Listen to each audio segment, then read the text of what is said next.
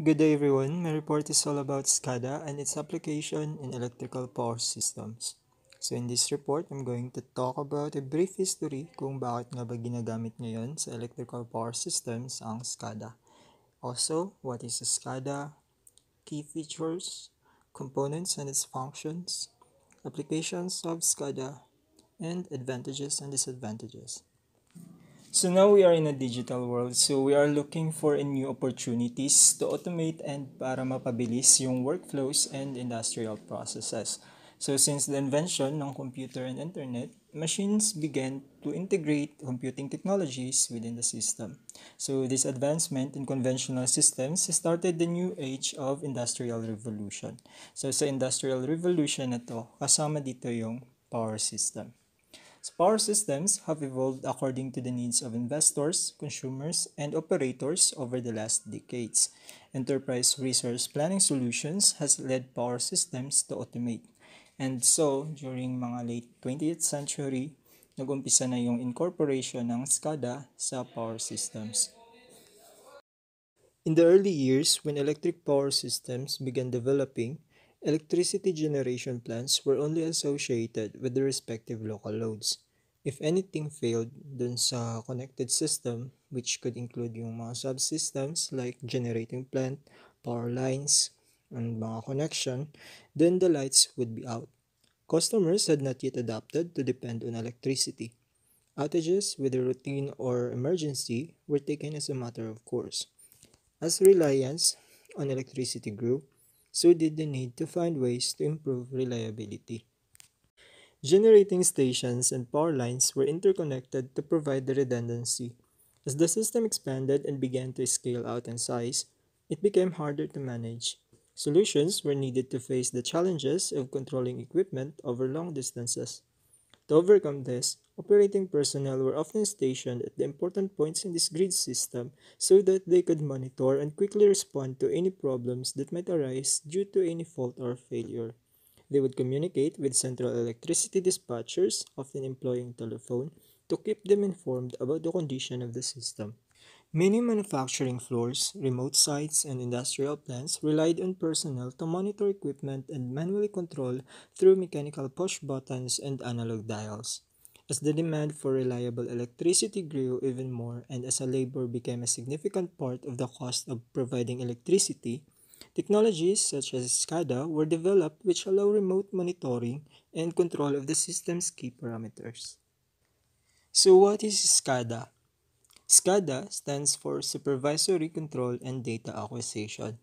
SCADA is a system of different hardware and software elements that come together to enable a plant or facility operator to supervise and control processes. Supervisory control is a general term for a high level of overall control of many individual controllers or multiple control loops. It gives the operations supervisor an overview of the plant process and permits integration of operation between low-level controllers. Yung data acquisition naman is the process of sampling signals by measuring a physical property of a real world in the form of signals and in converting it from analog waveform into digital numeric values so that it can be processed by computing machines. So some of the features of the SCADA systems are as follows. Supervision. Computers process the data and let personnel in charge to oversee and direct the status of the power system using the acquired data. Personnel in charge were often operators and engineers who monitor the information remotely or locally.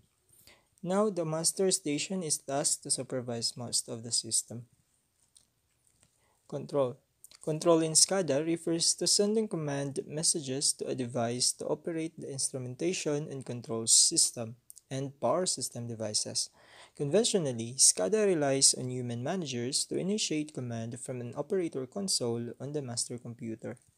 Field personnel can also control machines using front panels. Data collections. Instead of collecting data and filling data sheets by hand, SCADA automatically compiles information in real time. SCADA gathers data from hundreds or even thousands of sensors at a given time. It also generates backlogs for data analysis. Data communication. SCADA delivers information to a central hub. A communication network transports all the data gathered from sensors. Earlier systems had radio or modem. Today, SCADA data is transferred over Internet Protocol or uh, Ethernet. Data presentation. SCADA interacts with human operators through workstation computers that deploy the human machine interface, or the HMI. The master station presents a widespread view of the whole system and alerts the operator by visual display and alarm sound. SCADA systems comprises of the following components. First is the sensors. Field instruments are an array of transmitters, monitors, and sensors. Sensors are the transducers which detect changes in physical quantity. These sensors can be analog or digital, but ultimately their purpose is the same. Sensors help its users uh, to measure and collect data from various locations. So the more complex a system, the more sensors we may need in place. Next is the conversion units. Sensors are responsible for collecting data, but we also need something to be able to receive and interpret the data. So this is where conversion unit comes in. Conversion units are the computerized units deployed at a specific location in the field. So these are the connect uh, are connected to sensors they convert the information they receive into digital format, which is then sent to the centralized system to display. The two most common types of conversion units used in SCADA system are PLCs and RTUs. Yung PLC or Programmable Logic Controllers are good for situations where we want more localized control. The Programmable Logic Controller is an industrial digital compute computer designed for output arrangements and multiple inputs. PLC is used sometimes in place of other conversion units due to their versatility, um, flexibility, affordability, and configuration. However, one may need good programming skills to make the most out of it. Yung RTU naman or the remote terminal units are microprocessor controlled electronic devices their objective is to interface a SCADA system with a sensor or whatever object the RTU is connected to. Normally, they transmit information through wireless communication, therefore they are considered good for functions covering a broad area geographically. So these conversion units assist as local collection points for gathering information from sensors and delivering commands to control and protection relays. Next is the communication network. SCADA system cannot exist without a properly designed communication network system. All the SCADA system aspects rely solely on the communication network. It provides a channel for the flow of data bit, uh, between the supervisory control, the data acquisition units, and any controller that is connected to the system. The main function of a communication network within a SCADA system is to connect the conversion units with the SCADA master station. The data can be transmitted through various communication platforms such as Ethernet, telephone line, power line carrier communications, uh, optical fiber line, cellular, radio, satellite, Wi-Fi, microwave, or other wireless protocol.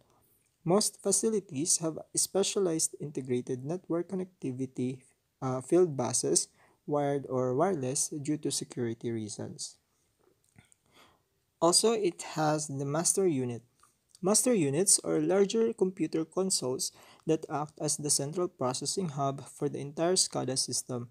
The master unit offers a human-machine interface to the system and automatically regulate the managed system based on the response of the uh, inputs created by sensors.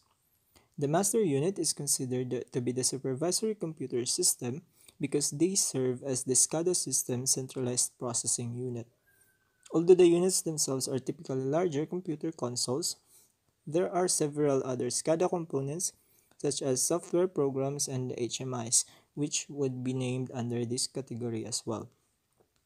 Uh, generally speaking, human-machine interface is a user interface or dashboard that connects a person to a machine a system, or a device. In a SCADA system, it allows the operator to view and interact with the collected and processed data. So this interface is usually used to perform tasks like collecting data, creating maps, uh, diagrams, sending out notifications, and making reports. Lastly is the Remote Communication Server or the RCS. After processing and analyzing the data gathered in the SCADA system, one needs a digitally and physically secure place to store this vast database. So the Human uh, Computer Interface or the HCI or HMI commonly requests data from a server responsible for data acquisition.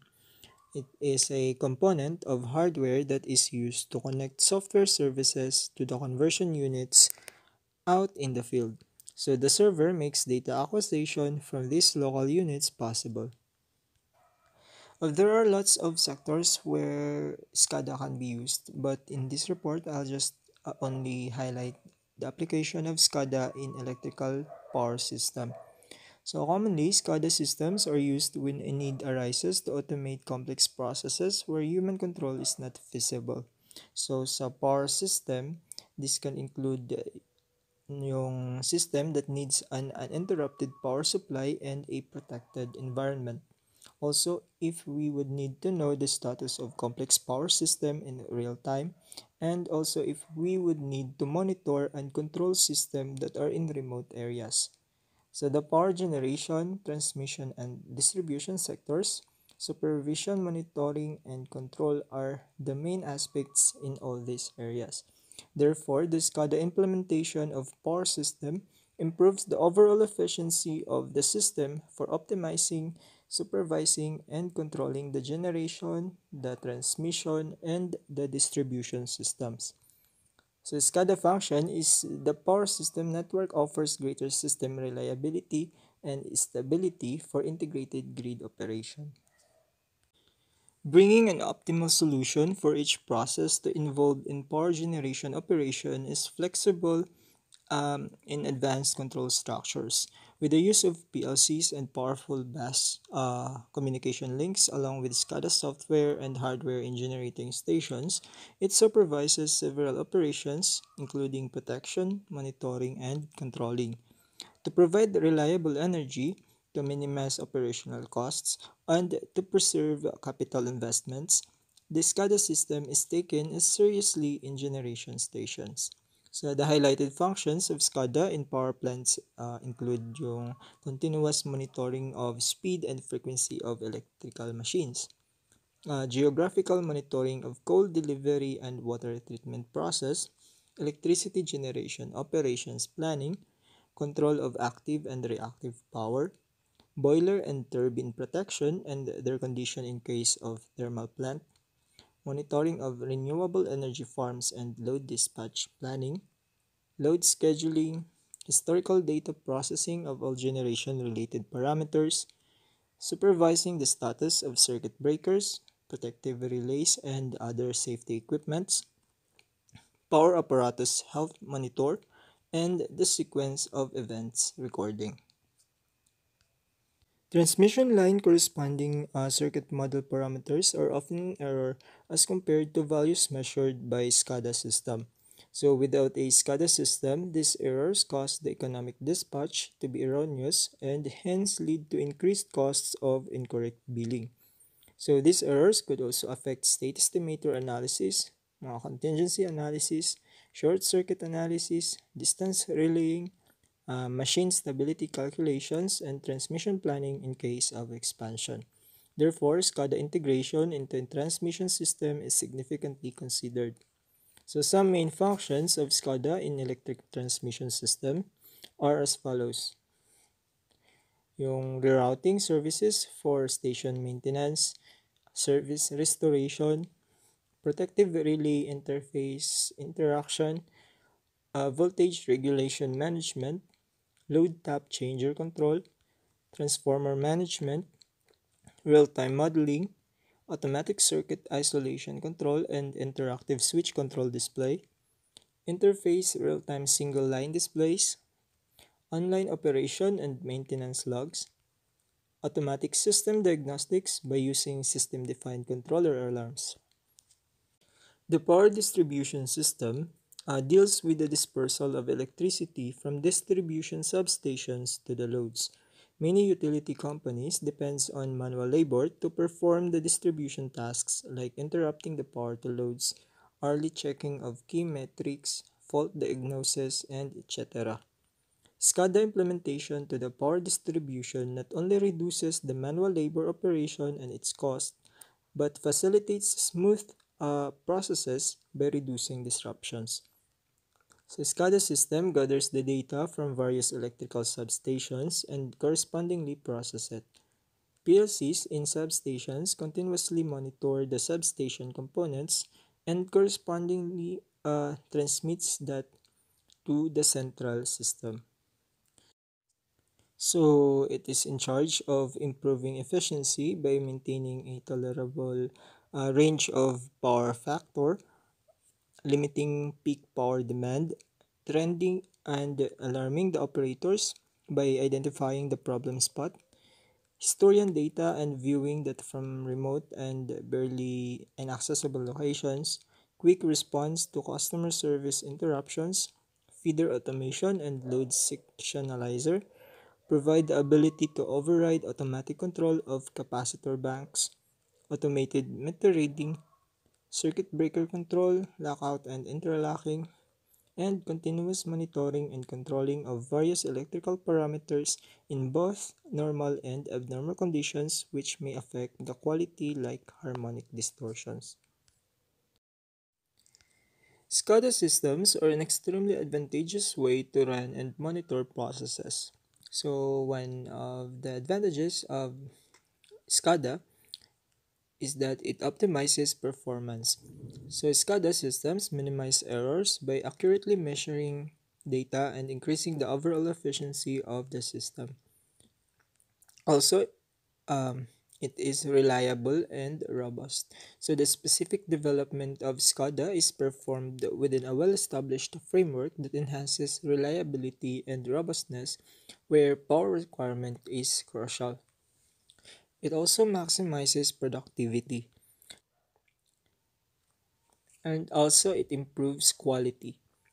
It analyzes and controls the quality of the produced electric energy profile using standard SCADA functionality. Also, it reduces operating and maintenance costs. Less personnel and trips are required to monitor field gear in remote locations this reduces maintenance and training costs. And lastly, it integrates with business systems.